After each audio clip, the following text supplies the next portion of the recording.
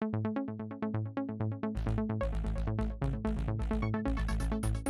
cloud is here now and is changing people's lives via access to data, information, communications, analysis, mobile, social, anywhere, anytime, always. Most individuals are already in the cloud. Businesses and government need to catch up. What is the state of cloud in Canada and what are the best practices? Facilitated by Lynn Sutherland, Director of Strategic Projects at the Canadian Cloud Council. Your participation is welcome. 10:30 a.m. May 14th.